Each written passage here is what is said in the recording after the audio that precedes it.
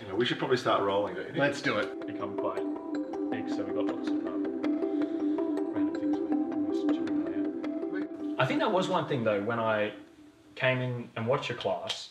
It sort of almost was a bit of a. Uh, I was going to say an anti-class. It wasn't. It was a very helpful class, but you were very much about. Um, I I think a lot of people were like holding on to a lot of technique, and it was like a lot of what you said was about kind of like just focus on the present moment and really just be in the moment Yeah. which I think is so important. But I think so many actors, including myself, struggle with that. Was that a journey for you, like to like work Well, on letting go of things? I a think lot? um, kind of letting go of wanting to be good is Mm. is a big thing, I reckon. Because we kind of want, want to come up with a good performance and be clever about it and be great at what we do. Mm, And, but that's a kind of a, an objectified standpoint. yeah, yeah, And I think probably acting is the most enjoyed and the most by the actor and the, and the audience when the actor has a subjective experience. mm, So that's not about evaluating it. That's about being in the moment. yeah, And usually, you know, when you have a really good time, time flies because you're having a subjective experience, and that's why it flies and why you're having such a good time because you know, you know, you're just living Mm. life. And I think probably acting's quite simple in a lot of ways. I reckon if you can get out of your own way and just be Mm. honest and do it.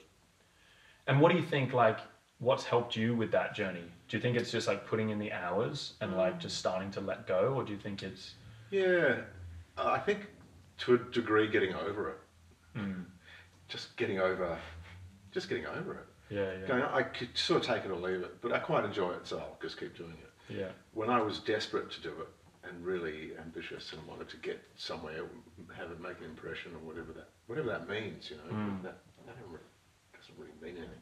But we think it does. It means a lot to actors, if I don't know Yeah. why. But when you get past that sort of stuff, I I think you get into a zone, or at least I did. I got into a zone where I was just freer. I wasn't trying to be. wasn't trying to be good. I was just trying to do it or something. Did that kind of come from like industry stuff? Like you were starting to realize maybe just how hard it was, or things Oh. weren't happening. You just went, well, who cares? Let's No, just, I, or, I think I got to a point where I was thought, oh, this is a lot of, sh- this is just a lot of crap. Like it's doesn't, it's quite illusory. Mm. You know, it's it's not.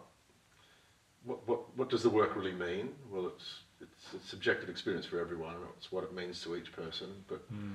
ultimately, it's just an experience. It's not. It doesn't amount to anything. And I think. Mm. Um, So letting go of the, I- the outcome of everything. yeah, when I, I think when I embraced that it was sort of meaningless and it was just sort of, okay, it was, it was an experience and it was, you know, there was nothing to actually get or to do. Mm. Um, well, once I, but then they're quite kind of abstract, I suppose. It's you kind of go, oh, what is success really? What is, you know, what, what is it really? You know, Mm. I don't know. It's whatever you want it to be, and finally, it's doesn't exist. Yeah. So where what what does keep you doing it then? What what do you find in it? Uh, the joy of doing it is great. So I think the, the one of the classes you came into, um, we were doing a whole lot of immersive, take no responsibility for the scene, take no responsibility for driving it, or just be in it and explore it for its own sake. Um, and what was happening was where where people, were people, the actors were embracing themselves rather than a notion of character. They were embracing a truth Mm. and embracing the truth and not trying to come up with any performance, it's just sort of being in it, the character would emerge. And so, you know, you've got, when, as an actor, when you embrace the character, you, that's what you want to do, you want to embrace the character.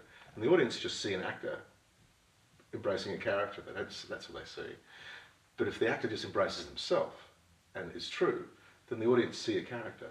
Mm. And that paradox is just brilliant, I think. And it, uh, we kind of go, our subconscious mind tends to understand scripts far greater than our conscious mind. And when people don't try and do any acting and they just try to be true in, uh, in the moment, all sorts of themes, resonant, with thematic Mm. resonances from the script tend to come out. And you go, I don't know how this is happening, but that is, you are the character, although you're just being you and being truthful. Yeah.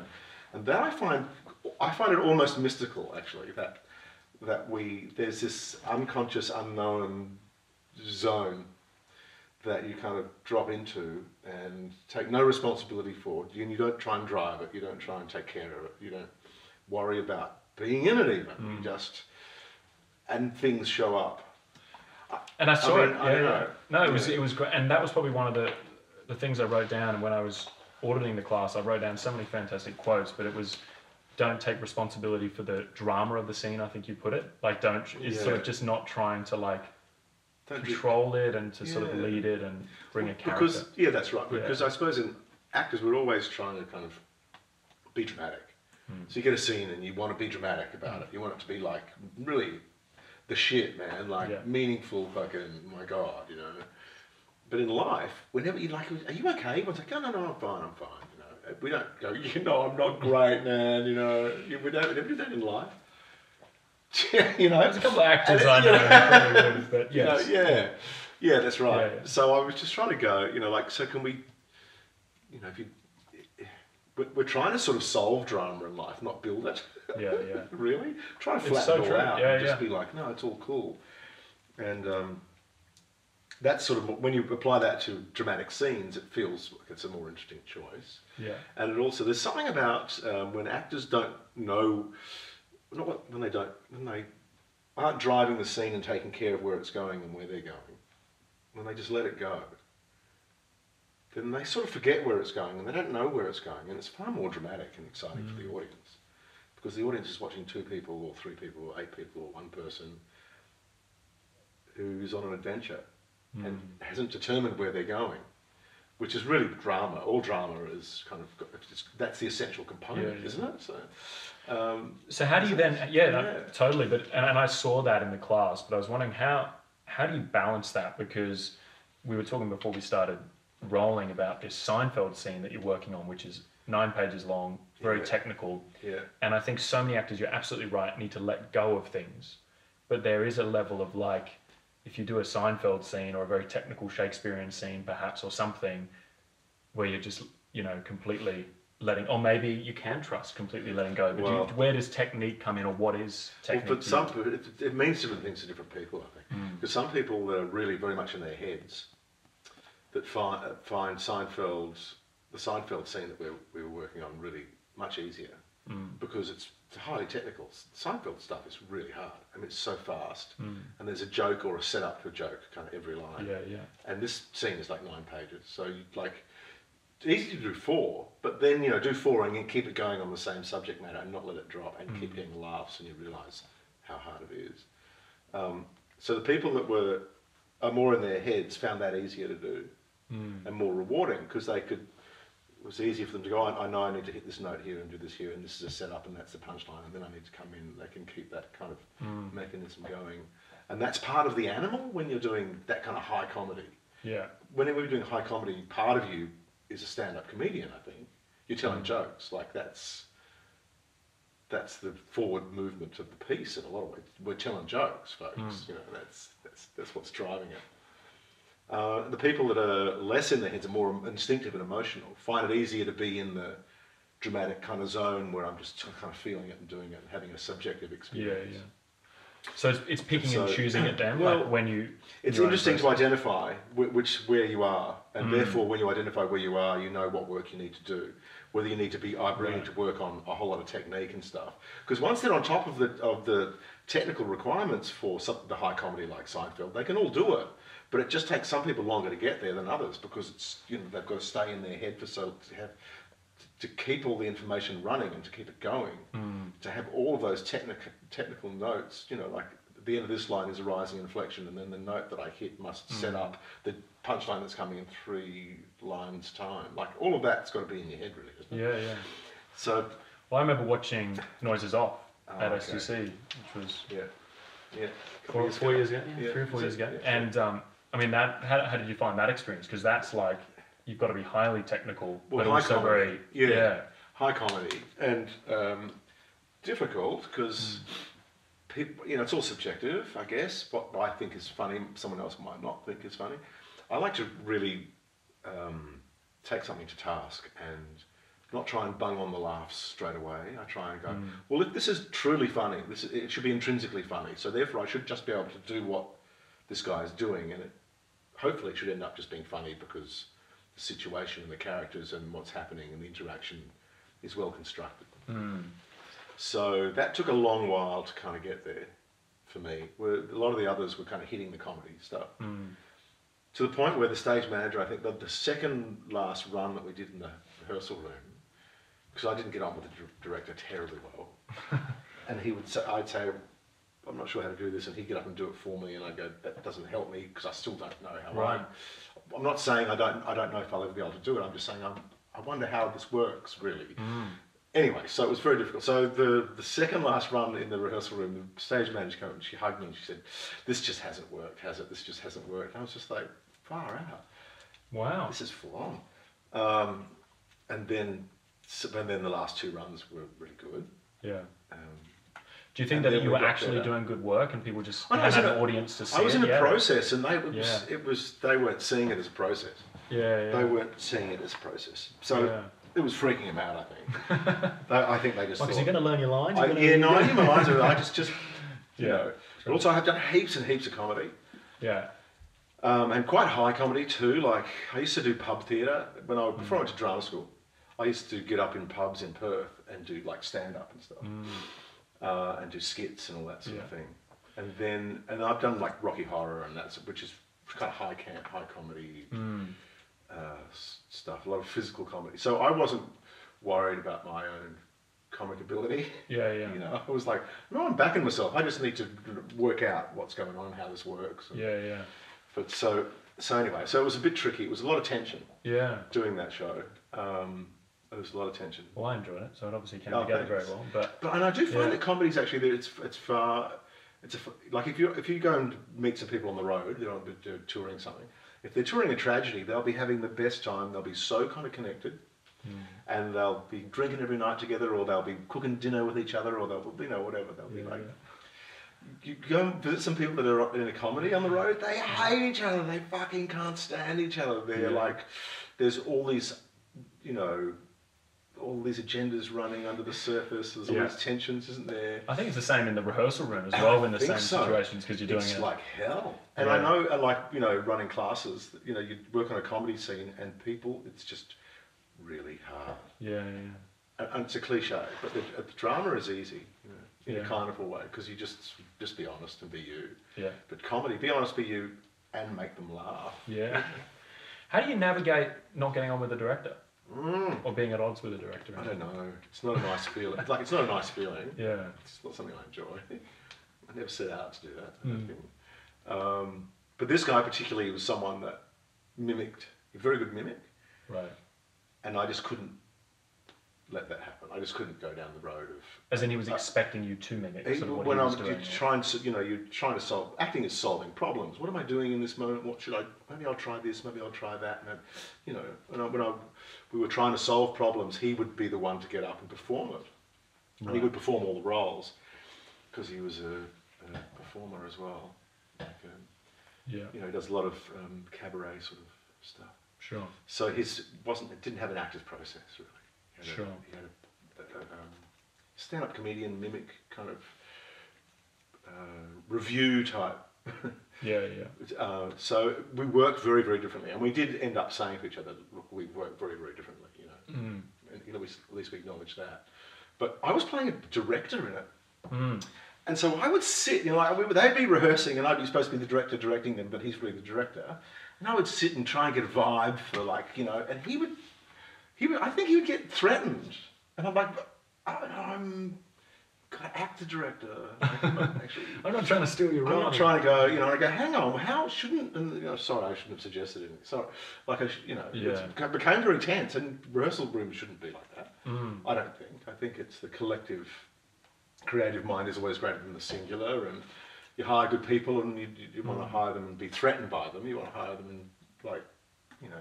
Do you think navigating it though is about like trying to work with them, or is it now the more you do it, is it like sticking to your guns? Like, Oh. what's your what's your approach to it? Do you kind of go, Um, well, actually, this is what I want to do, and this is all I've got, or do you do you have any kind of thoughts on like what an actor would do in that situation if you are kind of feeling at odds with the director? Yeah. Now looking back on it. You've just got to try and. It's a really uncomfortable and unfortunate situation. And no, I don't suppose any director would hire an actor if they thought they were going to have problems with them. Mm. Um, and uh, but some actors would take a job with the director knowing they were going to have problems with them because they wanted the job. Mm. I suppose.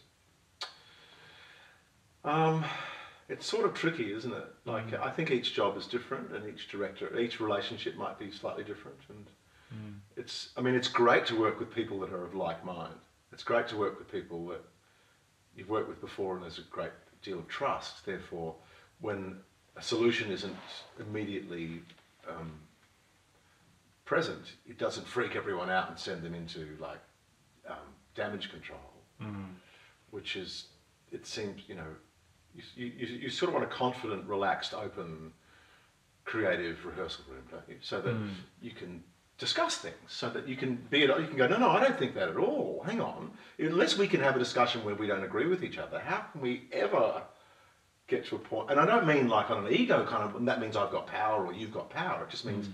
i'm just looking at it differently. Isn't that art, isn't that an artistic dis- dis- discussion is is to actually go hang on I, what's your perception of it? Well this is my perception. What are, what's our understanding? Where are we trying to get to? What does this mean? What can we how can we both feed into this? Like mm. that's a creative um, relationship and and and process i think Mm. um, and sometimes things can get so kind of uh, structured into a power grid, to a Mm. pyramid fucking grid, that you know it becomes subordinate to, to kind of go to, to disagree or to say, hang on, does that work or shouldn't that happen here or you know, Mm. like that's a it's, it's not it's like not Yeah. personal, you know. Yeah, and when yeah. things then become personal, I suppose when actors and directors don't get on, it certainly becomes personal, and you've got to try and keep you just try and and acknowledge that Yeah.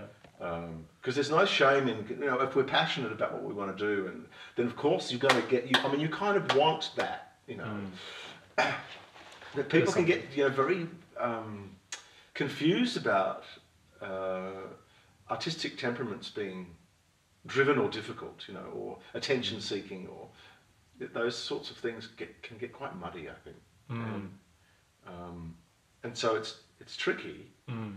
it's definitely tricky, and it's not for the faint-hearted. And you've got to Mm. be able to put yourself on the line and say stuff, don't you? And Mm. uh, and, and I and I guess the other side of it is that you know actors are all kind of competing against each other, and so we're always this this you know we're frenemies. There's so many frenemies. Mm. You don't really kind of know. Yeah. You You, know, s- a do you see friends. it as you see it as a competition? Uh, no, I don't. But I ha- I certainly see that they see it as such. Right. So um, you know. And do you think that's people, people get so threatened by each other endlessly. mm, I, I find it very difficult to go to like the the AACTAs or the Logies or anything. like to be in a huge group of, of performers. mm, I find it really quite torturous mm, because it's. I, Yeah. I don't know if that's actually, I'm one of the people that, that says so, and anyone else does, well, they don't say it, or. mm, But it's there's a vibe that is just like, wow, this is, this is, this is tough going. No, I think a lot of people feel that way, but I think it's interesting because my quiet hope was that people grow out of it a little bit. I think in certainly Yeah. interviewing a lot of much more successful actors, you Yeah. it seems like the competitive element disappears Mm. a little bit, but Mm. perhaps it just Well, it gets more to. quiet and Yeah, I think yeah, it has to. But I- but Yeah. what I'm finding is that as I look around, so if I go to those rooms now, like you go to the AACTAs or something, and look around, what you'll see is the ones that are really ambitious and really still believe in all of that. They're the ones that are still in the room, yeah, and the ones that have started to go, hang on a second, maybe maybe I'll just work on that poetry show rather than do that TV show, or maybe I'll Mm. just. No, I'm not let so much in the room. yeah. Do you think when you look around that room, having been in the in the industry for a little while now, is there any commonalities between the ones who you've seen do well in an industry sense, or do, do you look at it and go look at people in your class at drama school and go, yeah, some of the best people didn't get anywhere, and it was a large element of luck, or do you go actually? There have been certain things that have led to people's Hmm. success. Yeah, and different times in different people's lives. Mm. You know, there was this one guy in my class who was like, no, just known for being a terrible actor. Like he was really great looking, Mm. like six foot two, eyes are blue. You know, Mm. just you know, like a lifesaver kind of guy. Mm. And he didn't really work much at all for years and years and years. And then he landed this, he, a great guy, very bright. You know, Don't give away too much here. no, no way. And then he got this job in America, and suddenly, from not really having a career at all to just being like one of the richest people I know, you know, like- Yeah, right. right, for like six or seven years, like series, he just sort of did that. Mm. And the the role was constructed for a guy that didn't express his emotion very well, was just kind of like a guy's guy and just cowboy kind of guy. Mm. And it was perfect for him, absolutely perfect. So you go, wow, that's. I'm glad that happened. I'm glad that happened. Mm. You know. But do you think you've seen one thing I'm quietly hoping will happen is that have you seen talent eventually shine through, or do you reflect on it and go, actually, it's nuts Oh. out there, and it's just these terrible actors are getting through No, here no, and there. no, no, that would be too bleak. Could never agree with that. That Yeah. would be too bleak. Well, I, but what's, who, who's to say what is talent? Sure. There's that. Like, what is, you know, like, what a, what is, I'm like a really good actor is someone who doesn't do any acting. Mm. You know, the, the best actors are the, are the kids and the, the animals and stuff that you work with. Like, them in front of cameras, they're, they're, they know what they're doing because they're not trying to do anything. So, therefore, they have the most talent, uh, in one sense. I don't know. I don't know. Yeah. Um, uh, does talent shine through? I think tenacity certainly does. Mm. Um, I think drive certainly does. Mm. Drive, tenacity shines through. You've got to really kind of believe in it and want it. And, um, I think people get what they do, get what they need and what they want somehow. Mm. Yeah, that's I, interesting. I do. And you think your definition of good acting is not acting? Yeah, I reckon. Mm. Not doing anything, Mm. and yet it's all there. Yeah, it's a funny one because it's one because I feel in my personality I've got a great ability. I feel like I'm quite good as a observer, Yeah. and I feel when I hear that note, sometimes I feel like I have such a ability to just go to zero, and if I just did nothing in a scene, I'm not sure how engaging it would Oh. it would be. Like, how do you balance that advice with? Oh, so I should say, a- I should say it differently then. You, I reckon that a really good actor is not someone who's trying to do anything, but that lots happens to. Sure. So, you're not trying to do anything. Not trying to construct Extra. anything to happen to them. It's Mm. not like they're they're the, a great puppet master of their own puppet. Mm. It's not like that. It's a really good acting. I think is someone who's present and open, and the the openness and the the gap that's provided by not taking responsibility is filled with something you being affected, something happening to you, and people, Mm. you know. And so it's the spontaneity. I mean, with particularly with cameras, cameras just love a real moment. Yeah, and you mm. kind of work to you work to a point where you you are constructing accidents, and it becomes like, wow, that was a magic moment. Did we get it? Did we mm. get it? Is the energy on? Is there good energy on set? Hey, not mm. yes, we constructed that and it was perfect and we shot it. Unless you're doing animation or something like that, that is, you know. But with, with, with people, you kind of want immediacy and truth and honesty and freshness and you want an accident. You want to feel like Mm. you captured something that would never happen again. Um, And how and that's sort of thrilling, but it's also very simple, and it's also something that everyone does every day. Mm. It's um, I think we can overcomplicate what acting is and stuff. I, look, I, I you know I've done I did a bit of nudity on stage, and people used to say I did the Blue Room, right? And Mm. people used to say, "Well, God, it's so hard. How do you do that?" And I go, "Are you kidding? Like, think about it, really. Like, everyone is nude every day. It's not a difficult thing to do. It's just your psychological um, point of view of it. It's just Mm. how you look at it. But there's Yeah. nothing hard about it whatsoever. I can't believe that people think Hopefully, there's nothing too hard There's on not- that. You know. well, but there's not anything like if you have an interest in, an interest in the outcome. I know you're bad joke. Okay, If you had interest in the outcome, Yeah. then you are then it's a really difficult thing to do Yeah, to be naked. But if you don't, if you couldn't care less how it goes, Just it's hardly a difficult thing to do. So is that is? Do you think the I think, I think I think acting is the same. I think if Yeah. you don't care about how well it goes, if you just because we're all acting all the time, you and I are communicating and talking, and Mm. you know, So do you think it's just psychological then? If we, if an actor can shift the mindset of like Mm. caring less about this audition or this performance, then we solved most of the issue. yeah, Mm. Care less about the success, success because I don't know what that means, but Mm. so that you're present and feeling good, Mm. and then just get over yourself. you know, and get on with it. And it's kind of so much is there.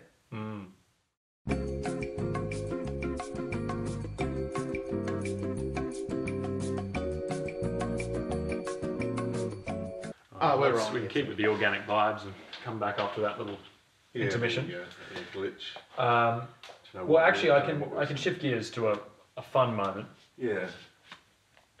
Not a fun moment. No. we can shift gears a little bit anyway, um, because we're talking a lot about being present, being in the moment. So nowadays, you get an audition or you you know get a role. How much are you doing on your script, and what are you doing on your script, if anything at all? Ah.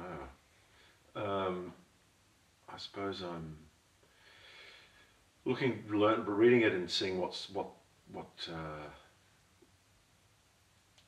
what the tenor of it is, what the genre of it is. I suppose what the feel of it is, because that tells you so much. That gives you so many so many things. Um, and then I just try and learn my lines and and connect to it it within within myself in a true kind of uncomplicated, honest sort of way. Mm-hmm. What's the simplest way I can do it? Kind of feel. What, what's just this? If I was to boil all of this down, what's simply happening?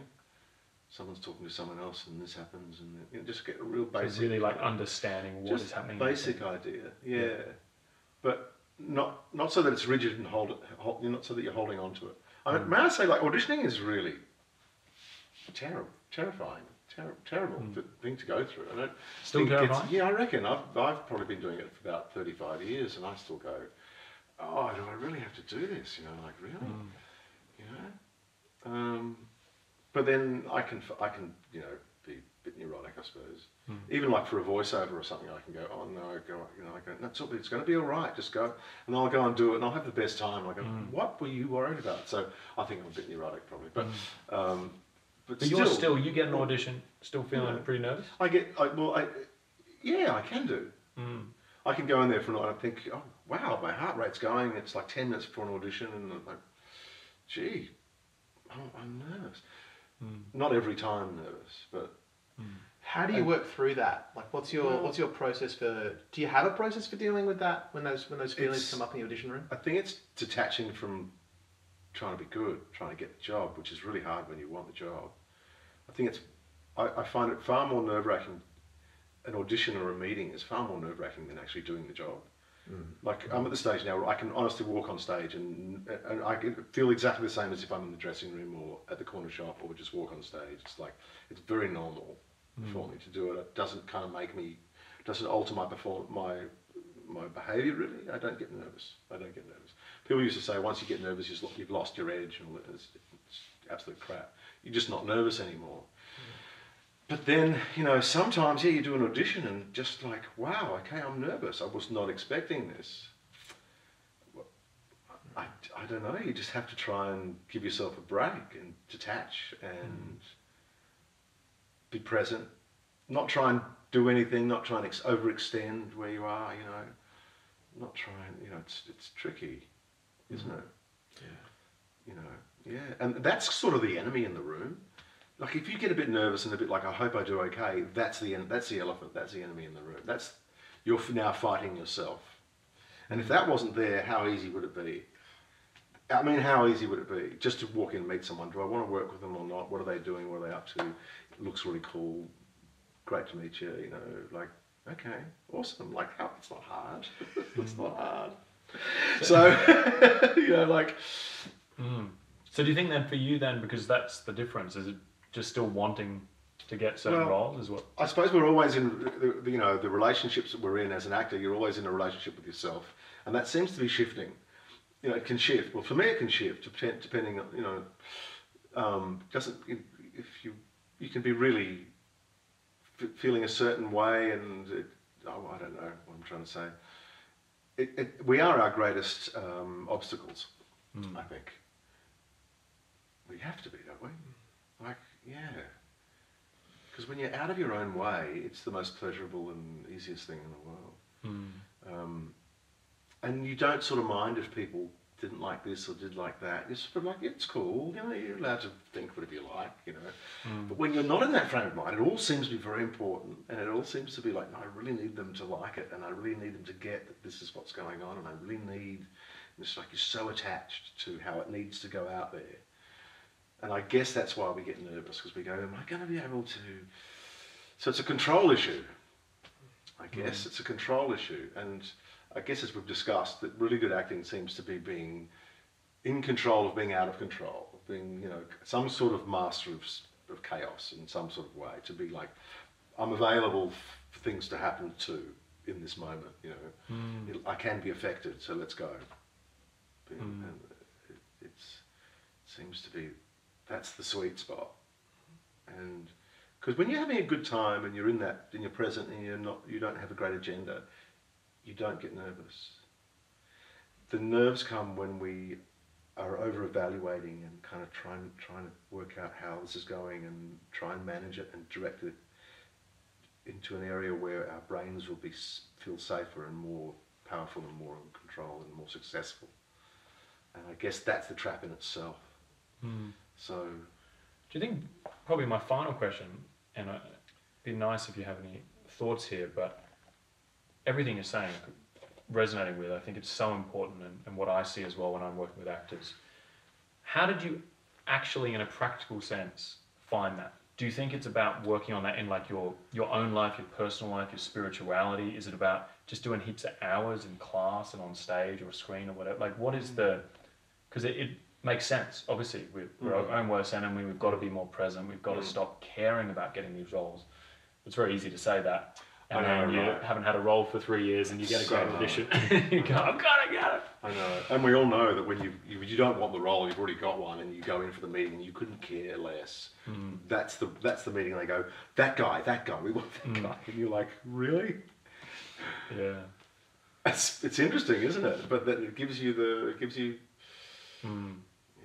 It's, the sweet spot for sure. Yeah. So how do you get there? Well, yeah. Do you think has it just become something Uh, as you as you do just genuinely care less and realize this industry is meaningless, as you said earlier? Yeah. That it. Maybe, you know? maybe it's that. It's le- it's definitely it's letting go of stuff. It's it's asking yourself questions. Why am I feeling like this? What I don't always feel like this. Why do I sometimes feel nervous, or why do I fun- sometimes feel like Mm. you know I'm not good enough? Why do I sometimes feel like this is not going to work? What's happening? Mm. And it's the self exploration of such things, and the philosophical approach, I suppose, um, because it is kind of all meaningless. It is built on fantasy and illusion and lies. And someone said to me years and years ago, it was Stephen Hopkins actually, who did 24 7. And he said, Marcus, the sooner you realize that, that this business is built on lies, the better off you'll be. And I just was like, I'm not going anywhere near that statement. Because I believed in its integrity and what it had to say, and what, the, what you know, you work on great plays and they have great themes in them, and you kind of go, "This is worthy stuff." And so, as a young actor, to accept that it was built on lies was was was the planet that I was wasn't traveling to, you know. And now I kind of realise it's it was the planet that I was always on, but. Hmm. And I guess one, you know, coming to terms with that and going, it is all a construction, and people have their own agendas, and something, everything is subjective, and if it means something to me, doesn't mean doesn't mean it means the same to you, Mm. or maybe it does, and when it does, that's really great, and when it doesn't, that's cool too, you know. Mm. But it's sort of letting it all go a bit. Mm. It- It's all, you know, none of it is, none of it is the answer to, and you don't need an answer anyway. Mm. You know, it becomes that. It becomes why are we asking questions? Well, Mm. You know, like we, we invented the question to to ask it. You know, so rather than what are all the answers. So, uh, when you get to that sort of end of things, then you start. Then it gets easy to just kind of like, well, it's all a bit meaningless, and I don't care. And I feel you could leave us here for seven hours and we could just go on this one for a while. It's all right. it's everybody just Yeah. fractalize, Yeah. fractalize, and fractalize, and you know, like. Mm. Yeah. So it's all endless, and it's all meaningless, and it's all But good. yeah, but no, I think. but I think you're right. I think it, actually. Infinity. This is what infinity actually looks like. It just actually does not stop ever. Uh, but at the end of it. You might get some good acting. At the Even end of you're it. trying not to get. No, there's no end. That's Yeah, what I'm yeah, sure. saying. Yeah. That's the whole point. There's no like you get there and there's a pot of gold. At the end of it, Hmm. you get. You know, life goes on regardless. There's never like you get to the end of it. I would love to, that we go. Oh, look, it's the end of it. Here we get. Now look, hey, we're there. We're at the end of it. We'll take a few photos. We're at the end of it. You know, we're- that you're never going to get there.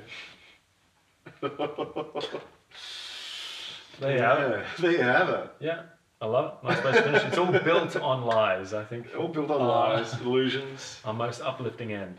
No, it's it's it's awesome, and uh, yeah, for anyone, I think you get the chance to come and work with Marcus. It's like this Oh, thanks. for longer. It's lovely. For, It's for great. longer, for hours on end. Hours we on did end, one session never one day. We did one session. We had so many people turn up because I do free sessions. You just like Mm. come and bring your stuff and we'll work on it.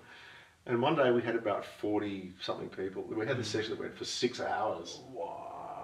And I couldn't stop at five hours because I thought all the people had waited for five hours to do something. I'm not going to say no. do six.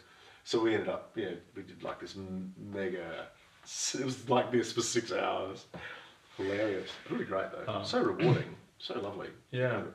Just you know, run a run a drop in for the sake of like a drop in for the sake of its own self. Hmm. So people just come, bring your work, we'll work on it, and we'll just share each other's work, and Mm. that's it. Like no money, no, just like we'll just do the work. No applause, no performance. Just let's just work. And they've been really great days. Uh, really great Yeah. days. And because Sydney too, we can be a bit disparate and a bit disconnected and a bit competitive and all this stuff. Very corporatized. So to kind of be forging a sense of community and connection, I think is really. It feels really good to do it. I know, I know intellectually you kind of go, it's really important to do, but more than that, it feels really great to do. Mm. So Yeah, I love it, and I and I do. I genuinely think this message is is important. I think the more actors can let go of that outcome and start Yeah. being both Yeah. career wise and with their acting moment to moment, I think it's an important message. So it's a much nicer Thank you. place to be. Yeah. Mm. Love it. Cool. Thank you, Marcus. Cheers. Love it. Thanks so much. Thanks, Cindy. Do we get it? We got it.